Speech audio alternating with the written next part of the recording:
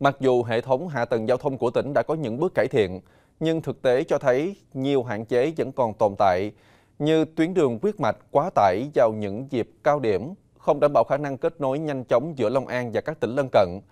Trong khi đó, nhiều tuyến đường nông thôn lại chưa đạt chuẩn. Hệ thống đường tỉnh và đường huyện của Long An đang gặp nhiều vấn đề về chất lượng và quy mô. Trong số hơn 1.460 km đường huyện, chỉ có 77% được nhựa hóa hoặc bê tông hóa, còn lại là đường đất hoặc cấp phối có chất lượng kém.